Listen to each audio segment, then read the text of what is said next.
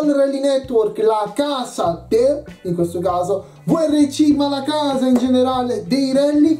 Andiamo subito a parlare, analizzare, perché c'è tantissimo da dire, il Safari Rally Kenya. Il Safari Rally Kenya che quest'anno ha avuto un solo grande dominatore, nome e cognome, Calle Rovampera, che ha vinto tutte e sei le prove speciali del venerdì, andando di fatto già qui ad, um, ad, andarsi un po' a costruire quel successo, con, concludendo con quasi un minuto sul secondo distacco che poi si è andato a ingigantire nella giornata di sabato, andando poi ad approfittare di quelli che sono stati molteplici inconvenienti che dopo dobbiamo vedere degli avversari.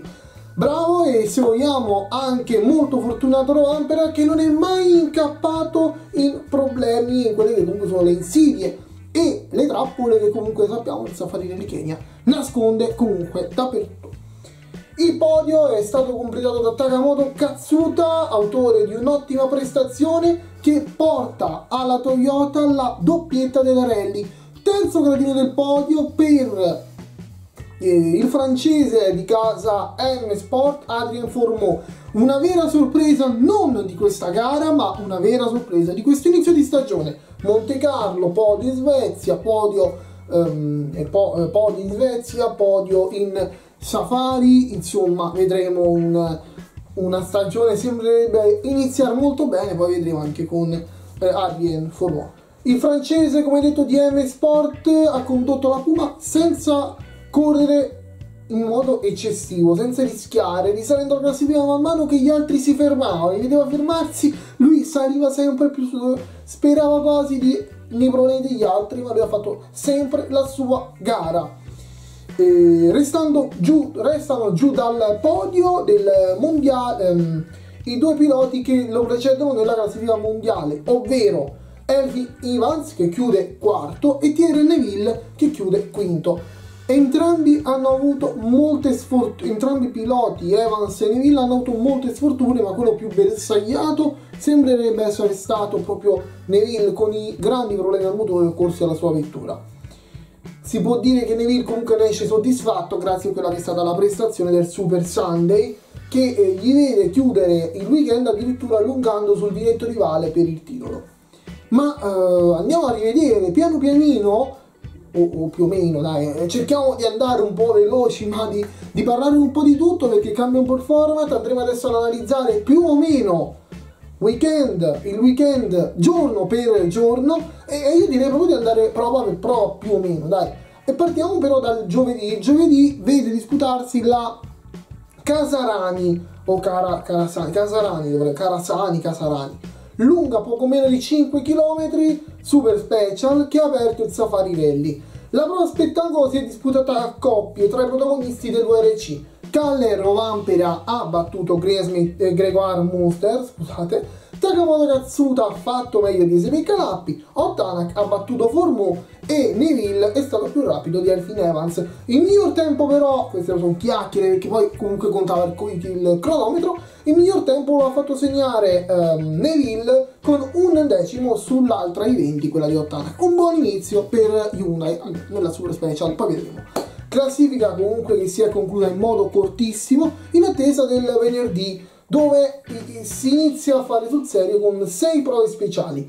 Tra le VRC2 è partito forte Gus Grismith che ha rifilato 3 secondi ai due terribili rivali Oliver Solberg e Kajetan Kajetanovic. Da segnalare lo spettacolare cappottamento del pilota eh, locale, il pilota keniano Saman Singh Vora, Singh Vora che eh, ha comunque eh, concluso la prova, poi si è eh, ritirato. Il Safari Rally Kenya, come detto, ha visto un dominatore assoluto, Calle Rovampera, che ha vinto tutte e sei le prove del venerdì, chiudendo in questa giornata con un vantaggio, come già anticipato, di un minuto sul secondo.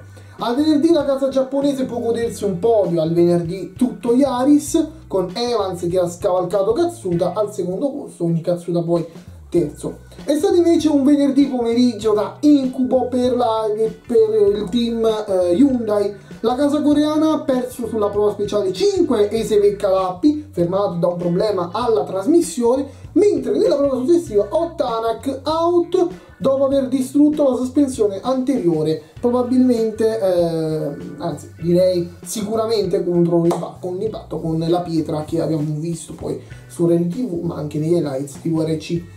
A confronto è stata una giornata serena, quella di Neville, il quale ha dovuto solo fronteggiare, ma solo tra virgolette, una foratura alla posteriore destra al mattino che gli ha distrutto la carrozzeria, un, il posteriore destro della carrozzeria completamente distrutto. I meccanici di Hyundai hanno comunque fatto un ottimo lavoro rimettendolo in gara poi il pomeriggio con una vettura integra e il belga ha potuto continuare a lottare per un piazzamento molto buono in ottica mondiale. Più staccata invece è la coppia di piloti Ford che non sembra in grado di... attenzione, parliamo di i due Ford, eh, i due Ford Formò e Monster, non di, Nicolo, non di eh, Sir Davis. La coppia di piloti Ford non sembrava in grado di potersi inserire nella sfida. Nel VRC2, categoria cadetta, non parliamo di VRC3 perché c'era un solo pilota e non, non ha senso. Nel VRC2 Gus Grismith amministra un larghissimo vantaggio mentre Oliver Solberg purtroppo è vittima di una foratura, eh, come detto era vittima di una foratura, ma eh, costruisce suo, la sua eh, rimonta e recupera quasi il distacco che poi eh, aveva da Kajetan Krejanovic. Il sabato eh, invece Conti eh, si va in archivio con Callero Ampera che è sempre più leader. Il pilota Toyota, partito ricordiamo con meno di un minuto di margine, conquista la classifica parziale con oltre due minuti su Takamoto Katsuta, approfittando dei tanti inconvenienti capitati agli inseguitori. Ricordiamo, il sabato si conclude la classifica parziale che andava ad assegnare 18 punti al primo e così a scalare secondo il nuovo regolamento dei punti.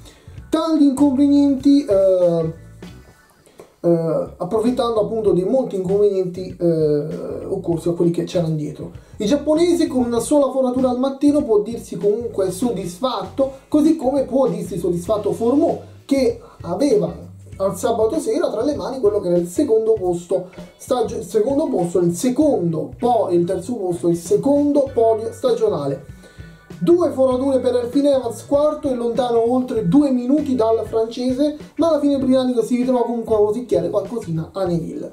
Crollato in quinta posizione dopo i problemi al motore emersi nella prova speciale 11. Il leader del mondiale ha per sua fortuna portato al termine il secondo giro eh, sulla Sleeping Warrior, bellissima prova speciale, difficilissima e lunghissima prova speciale, vinta da Ottanak che rientra nella top 10 dopo i problemi del venerdì senza nuovi inconvenienti questa volta, mantenendo quantomeno la quinta posizione che va a limitare ancora i danni in ottica rincorsa al titolo.